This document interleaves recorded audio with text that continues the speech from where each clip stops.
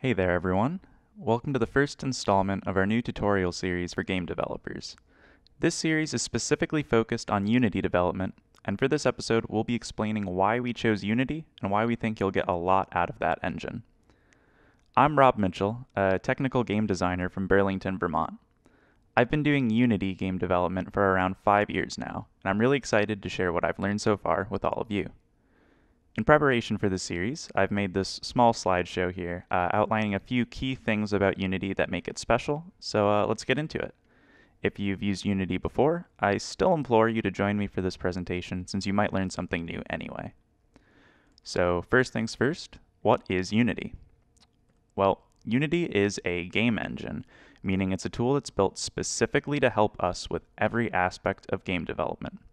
We as developers can provide assets like art, code, music, and more, and Unity acts as a central place where we can take all of that and turn it into a full video game.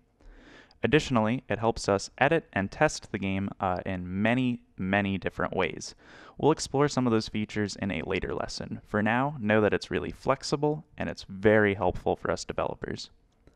Also, Unity includes many tools to make our lives much easier. This includes visual pop-ups that display information like little windows, um, as well as some libraries that make the lives of programmers much easier. So there's a lot of little helpful features for every kind of developer. Now, I know a question a lot of people are wondering is what kinds of games can be made with Unity? The answer, in my opinion, is literally every kind of game. If you quickly look up games made in Unity, you can find a ton of different games across different genres, most of which you've probably even heard of. Um, for now, I've just listed every genre I could think of in like one minute where there's a game that I have specifically played before that was made in Unity. So now, moving on, I've decided to compare three engines I've used quite a bit before. Um, that would be Unity, Unreal, and GameMaker. I came up with a few things on the left, uh, a couple features that I think are important to me as a game developer, as well as I think are important to some other developers. Um, just to summarize, because I don't want to go through every single point on this table, um, these top two rows are basically how important it is to me um, to have every kind of game be possible. We kind of went over that on the last slide, um, but here I've just summarized it as 2D and 3D. Um, I also think it's really important for new developers as well as even experienced developers because there's always something new to learn. I think it's important to have good documentation online and good tutorials online. Now, uh, the flexible editor is kind of like those cool tools that we were talking about before. Um, and that's something that we can cover in a later lesson as well, kind of like visual scripting, which Unity doesn't support by default um, where the others do, but you can download something from the Unity Asset Store in order to uh, kind of bypass the need to program things on your own.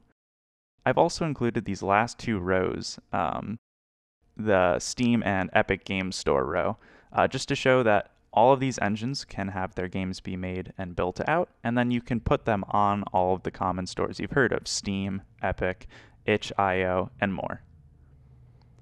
Now, I know there's a few people who will still feel nervous about starting off with Unity, but I want to assure you that Unity is for everyone. Tutorials like this are specifically designed with complete beginners in mind, including those who don't know any code at all. But we still can offer some important tidbits of advice uh, valuable to those who have used other engines or other programming languages in the past. Uh, Unity is really good for um, people who do know a little bit of code already and are looking for something new. Um, but again, even if you don't know any code, Unity is still a great fit. Now, this is kind of a just a fun fact, I guess, but you can use Unity for non-game development purposes. I'm assuming if you're watching this, it's because you want to do game development, but it is important to know that um, there are people like scientists and researchers who use this engine to perform tests and simulate certain behaviors. Um, Unity is just extremely flexible, and it can do more than you probably thought of when you were going into this tutorial. Now, I think that just about covers everything for the intro. In the next lesson, we're going to actually get started with Unity by going over the software that we need, and I'll lead you through the actual process of downloading and installing it. By the end of the next episode, we're going to have the latest version of Unity running and ready to go.